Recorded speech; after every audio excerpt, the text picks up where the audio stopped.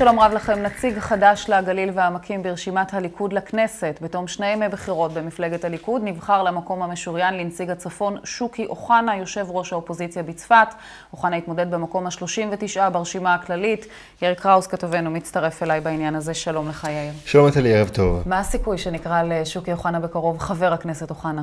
הסיכויים גבוהים, אבל כמובן ששום דבר עדיין לא ברור. את אמרת מקום 39, השאלה, זו השאלה הגדולה. שוקי אוחנה טוען שכבר לפני כחודש וחצי, חודשיים, אנחנו גם פרסמנו כאן, הוא הגיש עתירה למוסדות מפלגת הליכוד בטענה שלא ייתכן שמקום הליכוד, שמקום כן. הגליל בליכוד יהיה כל כך רחוק, הוא דורש שיחזור למקומו הטבעי, מראש מקום 34. לעתירה הזאת יש סיכוי.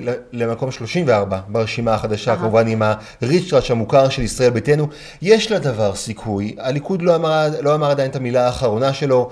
הטענות של שוקי הן נכונות לפי אה, מיטב ידיעתי ובדיקתי, לכן כנראה שאנחנו נראה לראשונה איזה 20 שנה מצפת, האחרון היה חבר כנסת נחמיאס, לפני 20 שנה נראה חבר כנסת מהגליל העליון, שוקי כן. אוחנה בכנסת, שזו כבר בשורה טובה. עזבי כן, כל זה... מה שעברנו עד היום להגיע לרגע הזה. שוקי אוחנה בגליל בכנסת זה דבר טוב בשבילנו תושבים. כמו כל נציגי הגליל והעמקים בכנסת, את זה נדע עוד אה, בעתיד, בהתאם לסיכויים של הליכוד ביתנו באמת. אז, אז זה הדברים שהוא מדבר עליהם לפני כחודש וחצי, מה הדברים שהוא אומר היום? הוא כמובן מאוד מאוד מתרגש, היה מאבק מאוד מאוד עיקש. את יודעת, אני אתמול מאוד חששתי, שאל מה ההערכה שלי, ואני מודה ונבו, ובוש היום לומר שאני אוכל את הכובע. כן. אני הימרתי פחות. הוא התייחס לאנדרלמוסיה שהייתה במקרה, ב, ביום הבחירות?